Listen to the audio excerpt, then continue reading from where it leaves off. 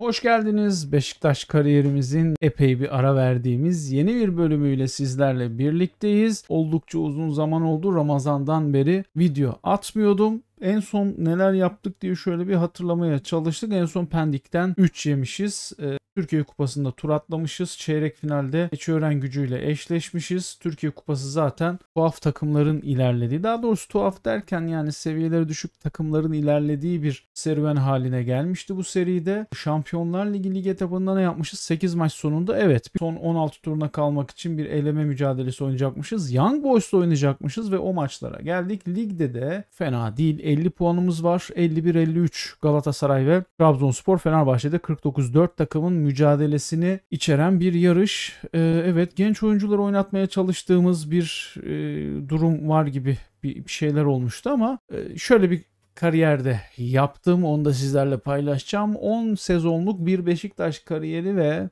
genç oyuncuları oynattığım yani Emir Yaşar'ın 250-300 maçı falan olmuştur herhalde kaleci Emir Yaşar'ın. Yine aynı şekilde Demir Ege Tıknaz'ın 150-200-300'leri bulduğu maçlar. E, tamamen genç oyuncularla neler yaptığımızı anlattığımız bir de kariyerimiz olacak. Demir Ege Tıknaz gidecek misin? Kalsın bakalım burada da kalsın. 20 yaşına gelmiş. Onur Bulut isterse iyi gidebilir. Herkese yol veriyoruz. Herkesi gönderiyoruz. Young Boys maçlarını yapalım da neler olacak ben de unuttum. Takımı 4-3-3 yapmıştık en son. Biraz agresif bir 4-3-3 yapmıştık. Berkay Vardar'ı gönderiyoruz Antalya Spor'la sözleşme imzalamaya hazırmış. Yolu açık olsun Berkay'ın. Demir Ege Tıknaz 875 bin euroya gidecek. 1.3 milyon euroya kadar çıkabilecek bir değermiş. Derin oyun kurucu savunma oynatmaya gerek yok. Kabul gitsin yolu açık olsun. Zaten dediğim gibi bu Beşiktaş'taki genç oyuncuları oynatma hevesini aldığım bir kariyer yaptım. Onları da sizlerle paylaşacağım. Galatasaray 53 milyon euro para harcamış. Ee,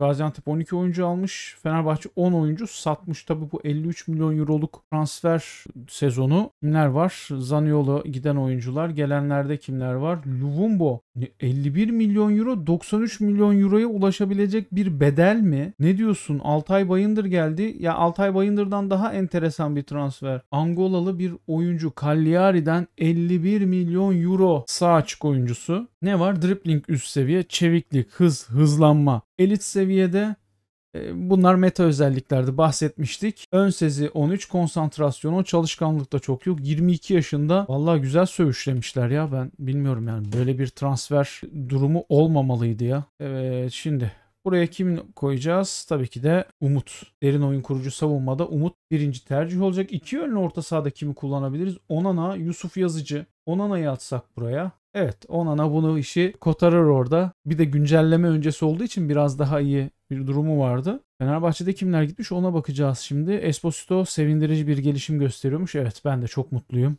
Esposito teşekkür ederim gelişiminden dolayı. Fenerbahçe'de bakalım transfer geçmişi. Dorukan, Cemali ve Bertu gelmiş. Paris Saint Germain'e Ferdi Kadıoğlu, Livakovic, Juventus'a gitmiş. Çılgın rakamlar. Osterwolde yani Livakovic'in şu rakama gittiğini gördük. Osterwolde'nin şu rakama gittiğini gördük bu oyunda. Daniel Barlasel mi? Ne diyorsunuz abi siz? Hadi be şu maç gelsin artık abi. Takım top oynamayı unuttu ya. Emir Yaşar'ı almadık mı kadroya? Aynı günde başka bir maçta forma giymiş. Tamam Montero. Ya bu Montero sevgisi nedir abi? Biz ne yani Montero? Mustafa Ekimoğlu'nu da değil mi sonradan falan kullanıyorduk evet. Onana Castroveli, Umut, Masuaku tamam tamam böyle. Omar Kolay pasör stoper olmaz bence. Kesinlikle standart stoper yapalım. Çağlar Soyuncu da pasör stoper oynayabilecek bir oyuncu değil ama e, yine bu seviyelerde denenebilir.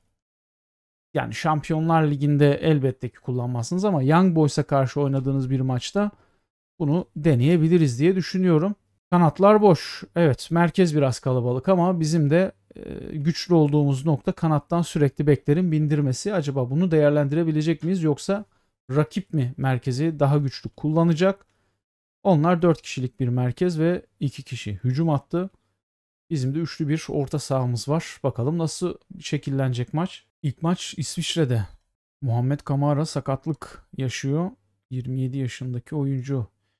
Imeri yani Kamara dedik yapıştırıyordu değil mi? Evet. Dani Rodriguez sol tarafa tekte oynayabilirdin ama önemli değil. Evet güzel gittin oralara kadar. Emerson Royal 2 numaranın hakkını ver diyecektim. Kötü bir orta açıkçası. Bu kim yetişemedi? Sonradan yetişti gibi. Masuaku.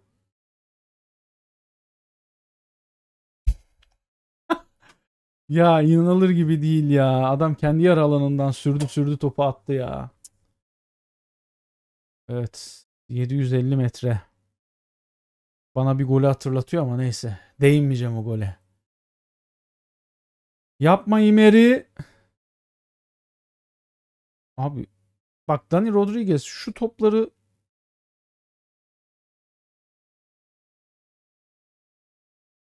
Evet çok güzel. Çok iyi bir pas. Haydi Esposito. Esposito. Francesco Pio Esposito. Tek kelimeyle mükemmel bir gol. Evet. Rakiopi'yi avladı. Bu kez kontraya çıkabildik. Aslında savunmada yerleşir gibiydi ama boşluğu iyi gördü orada. Yalnız kaleci de son ana kadar yatmadı. Esposito da son ana kadar bekledi. Tabi burada hücum eden oyuncu biraz daha avantajlı oluyor.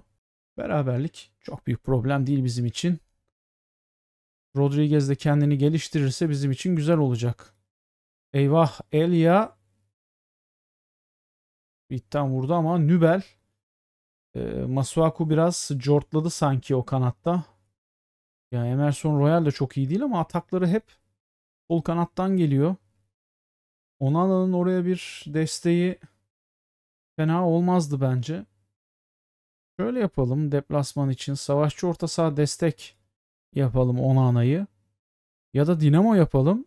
Biraz daha o sol kanada destek olsun. Bakalım boşlukları kapatma konu biraz daha genişte oynayacak. Belki orta sahadan bir oyuncu eksik gibi kalacağız ama en azından o sol kanadı kapatıp Masuaku ve Semih'e destek olabilir. Çok iyi bir top. Eyvah eyvah. Yani artık oraya da çıkarmazsın o topu be kardeşim. İmeri çok iyi çıkıyorlar kontraya. Elia çok güzel vurdu. Meşak Elia. Evet. iki kontrada avladılar bizi ki bunlar kendi evinde böyle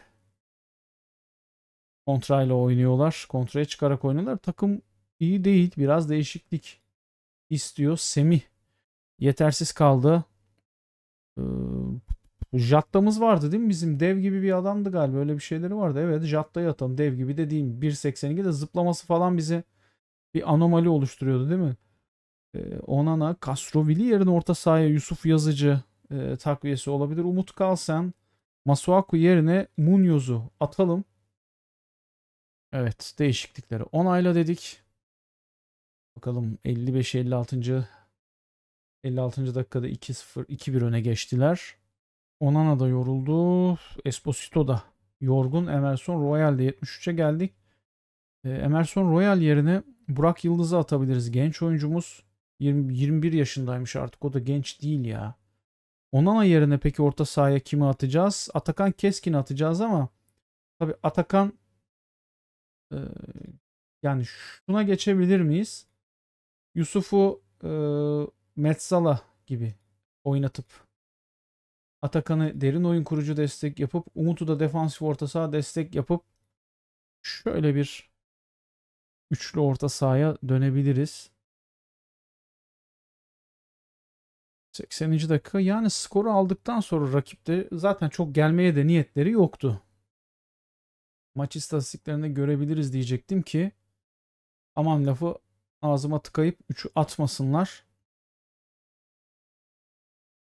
Sanki böyle bir top kaptırıp da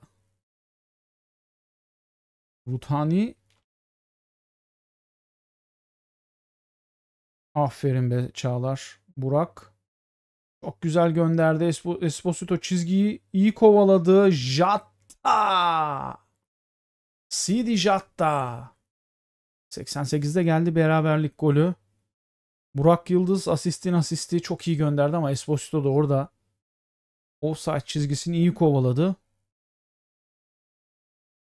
Oyuncu değişiklik hakkımız oldu. 5 oyuncuyu değiştirdik. Jatta'nın golü evet güzeldi. Belki Semih'i forvette değerlendiririz ya. Yani Jatta'yı kanatta değerlendirmek Semih için de daha verimli olabilir. Munoz çok kötü tercih. Niyaz. Yani orta sahada evet bir, bir kişi kalabalıklar. iyi de pas yapıyorlar. Çok iyi be Umut. Ah ah. Orada bir hızlı atak başlatabilirdik. Yanko. Nübel iyi karşıladı. Yani Atakan onu orada bir tekte pat diye uzun kullanman bizim için iyi olabilirdi. Evet iki takım da çok yorgun valla söyleyecek bir şey yok. Deplasmanda 2-2 fena değil. 1.93 gol beklentisi. Rakip 1.58. İyi şut çekmişler. Soyunma odası diyelim. Topla oynama rakip %61 ama bizim bu e, oyun anlayışımızda topa çok ihtiyacımız yok. Teşekkür ediyoruz rakibimize. Güzel bir maçtı. Evet Jatta ipten aldı. Semih son dönemleri nasıl geçirdin? Ee, yani yetenek gelişimi iyi ama yani evet istediğimiz kadar skor katkın yok. Jatta'yı şöyle atalım. Dani Rodriguez yerine Raşitsa'yı atalım buraya. Şöyle yapalım. Raşitsa kardeşimize sen kanat hücum oyuncususun.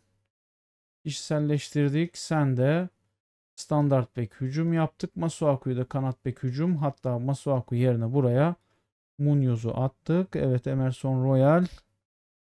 Tamam. Evet. Castrovilli aslında biraz daha yeteneklerini becerikli olduğu noktaları gösterebilse çok daha güzel olacak. Tamam. Şöyle bir sonraki maça geçebiliriz artık. Kendi evimizde Young Boys'u tokatlayacağız inşallah. Young Boys maçına gitmeden değişiklik yapmamız lazım. Çünkü Castro Willi sakatlandı. Zaynutdinov'u alalım Castro Willi yerine. Evet Yusuf burada bu işi yapabilir. Raşit Say'ı oynatacaktık. Jatta ile başlayalım dedik. Munoz var. Bek'te takımı bildir dedik. Takımdaki oyuncularımız taktiğe olumlu yanıt vermişler. Mutlular bu durumdan. Evet biz yine 4-3-3 Onana, Yusuf, Umut rakip. Yine aynı mı? 4-4-2 evet. Diamond. Elia bize ilk maçta çok sorun çıkartmıştı ama bu maç biraz daha geniş artık. Sağ tarafı daha geniş kullanacağız Raşit Say'la. Rakibin dengesini bozmak için yapıyoruz derken ilk pozisyon geldi Raşitsa. Topu ağlarla buluşturmaya yakında ama ne yazık ki olmadı. E iyi hadi bakalım.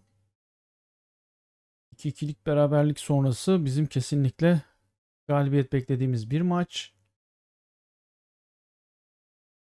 Loper kart görmüş. Agresif bir kardeş mi bu? Yok değilmiş. 27-28 dakikalar hızla ilerliyor. Hadi Nübel. Yani kısa pasta çıkmayın dedik. Evet uzun vurun ama şu topları biz e, alalım diye yaptık.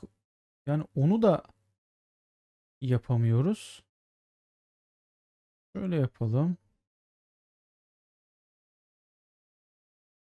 Geçiş oyununda topu defansa karşı onu kalecinin o anki durumuna bırakalım o zaman.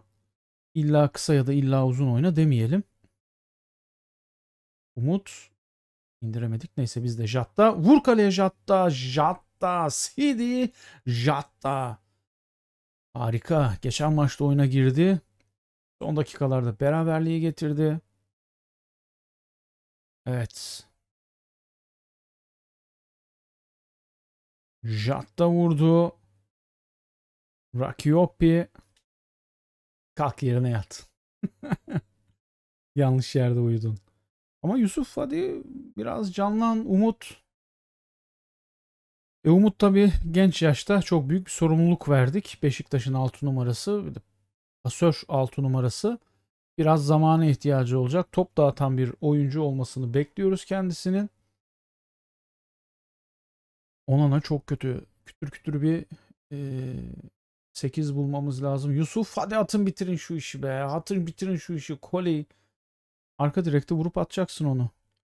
Tam baskıyı kurduğumuz dakikalar kesinlikle bir gol bulmamız lazım. Çok iyi. Ah. Çok organize bir atak. Tek toplar. Ama Esposito dışarı vurmayı tercih etti. Haydi, haydi gençler. Esposito aşırdı. Esposito'ya bak neler yapıyor. Raşitsa çok güzel bir top. Onana.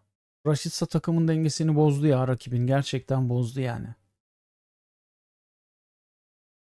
Yani kanat forvet hücum ya da ters ayaklı kanat orada oynatıp daha da böyle içeriği e, zorlamak yerine Raşitsa çizgiye gitsin abi geniş geniş. Bak ne güzel merkeze çevirdi. Ona çarpar, rakibe çarpar bir şey olur. Sonuçta Onana'nın ayağına geldi ve topu ağlarla buluşturduk. Tayyip Talha'yı oyuna alabilirim. Sakatlıktan döndü oynamak istiyordu. Toplarla yine orta sahaya hızlı geçtiler. Yanko Benito güzel oyuncu. Elia ne Elia'ymışsın arkadaş. Kaç yaşında bu adam abi?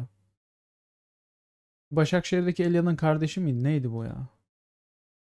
Neredesin abi? Sen iki maçtır 27 yaşında Kongolu. Mazembe, Kongo kulübü. Cristiano Ronaldo idolüymüş. Abi sırf koşuyorsun. Başka bir numara yok. Bizi perişan ettin ya. Makine misin abi sen? Takım yoruldu. Umut falan orta sahada ön libero'da istediği gibi oynayamıyor. Ee, yani Necip'i mi atalım oraya abi? Necip'i mi atalım? Pişman mı edelim adamları? Bahtiyar olur mu? Allah Bahtiyar'ı bile kullanabiliriz. Ama Yusuf olmadığı kesin Yusuf'un. Oralarda Atakan'ı attık. Esposito yerine Semih Jatta. Ee, yani Mustafa Hekimoğlu geçecek yerine belli ki. Bir süre daha böyle devam ettikten sonra sen. Atakan'a ofansif oyun kurucu destek yapalım da bari. Şu talimatı verebiliyor muyuz? Evet daha fazla dribbling yapsın.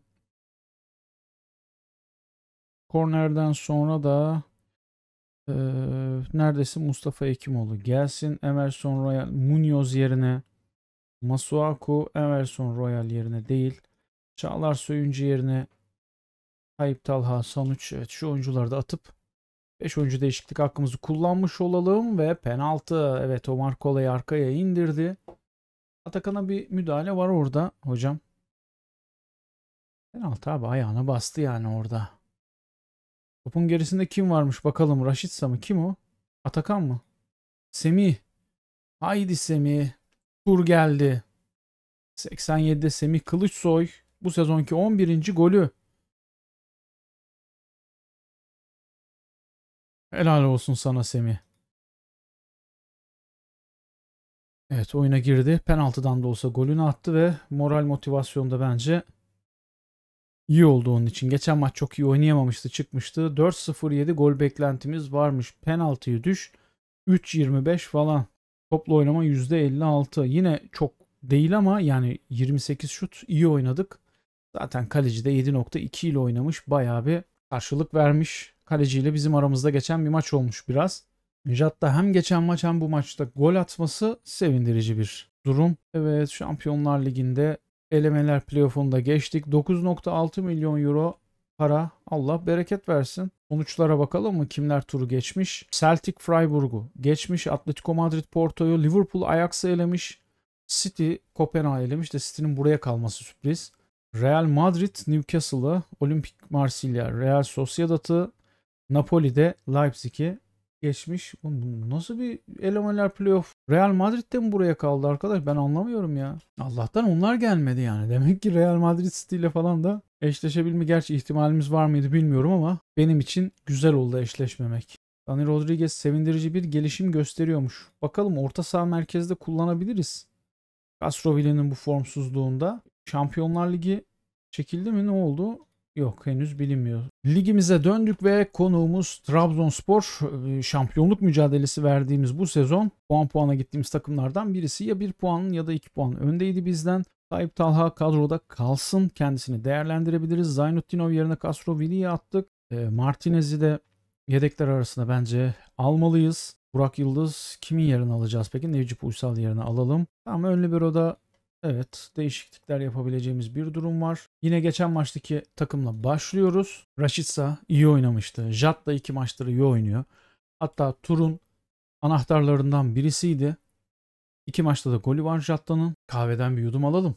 Okan, Joakim Benkovic, Yasin Mehmet, Mendi, Kurbelis. Ya, maç eksiğimiz var. Tamam yenersek e, olası bir galibiyetimizde bir maç eksiğimiz olacak. Bir puan gerisinde olacağız. Evet çocuklar kazanmak için sahaya çıkmalıyız ama çok da iyi bir kadro değilmiş ya. Biraz kariyerden uzak durduktan sonra benim bazen böyle kariyerlerim olur ya. Çok böyle şey oyuncular almayalım falan moduna sokuyorum kendimi ama Evet çok iç açıcı değil işte. Umut evet bence iyi ama Emerson Royal evet ama bir doğru düzgün bir sol bek yok. Allah'tan Said Abdülhamid almışız da sol bekte onu kullanacağız. 30. dakika daha bir numara yok.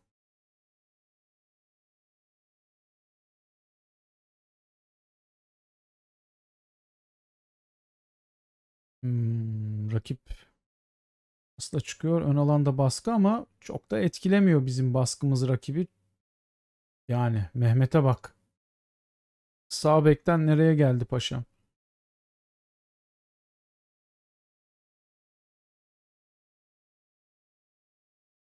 Sağ bekten nerelere geldi paşam? Ee, yani 4 şut çekmişiz. Biri isabetli ama tabii bir tek Trabzonspor'un o güzel atağını gösterdiler soyunma odası diyelim. Hiç iyi oynamadınız gençler. Ee, bu sonuç asla ve asla kabul edilemez dedik. Ee, çok da bir şey yoksa biz yine bizim şu 4-2-3-1'e mi dönsek ya gençler ne diyorsunuz? Aslında kendi evimizde biraz daha böyle sert agresif oynasak hiçbir problem yaşanmaması lazım. Onana, Umut, e, Jatta, Raşitsa tam burayı oynayabilir. Peki kim kötü buralarda kondisyon anlamında falan dersek? Mustafa Hekimoğlu olabilir. Atalım bakalım Mustafa. Mustafa Hekimoğlu Trabzonlu muydu? Öyle bir şey mi vardı ya? Yok hiç şey değil ya. Alakası yok. Belki olabilir bilmiyorum. Çağlar'ın kartı varmış ya. Tayyip Talha'yı atalım bu bahaneyle. Esposito Yusuf. E, Raşitsa. David Martinez. Olmaz. Dani Rodriguez'i deneyelim. Değişiklikleri onayla dedik. Haydi bakalım Yusuf.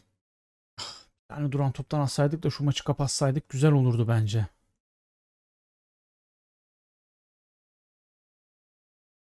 Biraz daha şey yapabilir miyiz acaba? Oyunu lehimize çevirebilir miyiz diye düşünüyorum ama Semih Kılıçsoy'u attık. Hem kondisyonu kötüydü. Başka bir değişiklik daha yapayım diye düşünüyorum. Onana yerine hadi şu Castrovilli'yi de atalım. Değişiklikleri onayla dedik. Burada bekleri bak burada bu oyunda bekleri hücum yapabiliriz. Ee, bence tamamen rakibin dengesini bu, bu sayede bozabiliriz. Aferin Mustafa. Lan be direkten dönecek top muydu o ya?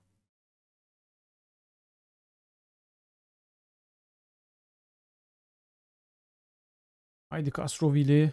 Emerson Royal tek top. Rodriguez. Penaltı mı? Yani kale ağzında nasıl vuramadı o topu o? Eyvah bir de hiçbir şey yok derse 85. dakika oyuna ağırlık koyduğumuz top hakimiyetini ele aldığımız dakikalarda Ulan madem penaltı yok pozisyona devam ettir ya. Pozisyonu bitirdin.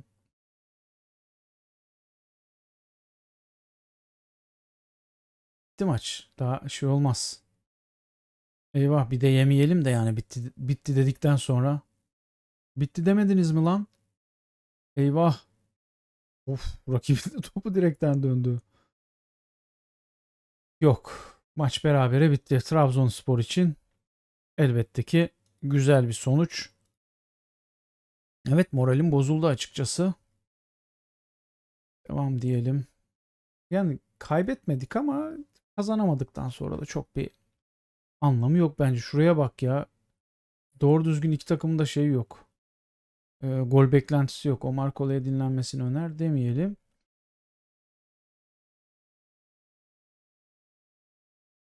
Şenol Güneş nasıl ya? Başakşehir'e geçmiş. Ya bunlar nasıl maçlar abi? Trabzonspor, Fenerbahçe deplasmanı. Neyse bu bölümü burada bitirelim de böyle dayak yemiş gibi başlamayalım birdenbire değil mi?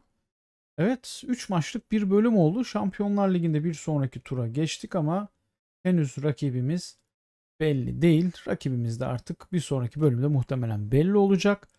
Ligde şampiyonluk her şey ortada. Galatasaray 59, Trabzonspor 55, Fenerbahçe 52, Beşiktaş 51. Bir maç eksiğimiz var. Şimdi Fenerbahçe ile oynayacağız. Trabzon'u yenemedik. Fenerbahçe'yi belki yeneriz, belki berabere kalırız bilmiyorum. Ee, ama ligde zaten bir 6-7 maç üst üste maç kazanma serisi yakalarsak ben şampiyon olabileceğimizi düşünüyorum ama bu sene için de niye böyle bir kadro kurduk şu an çok düşünemiyorum. Artık bir sonraki bölümde takıma tekrar alıştıktan sonra bu konuyla alakalı da daha detaylı incelemeler yaparız. İzlediğiniz için teşekkür ederim. Yeni bölümlerde görüşmek dileğiyle. Hoşçakalın.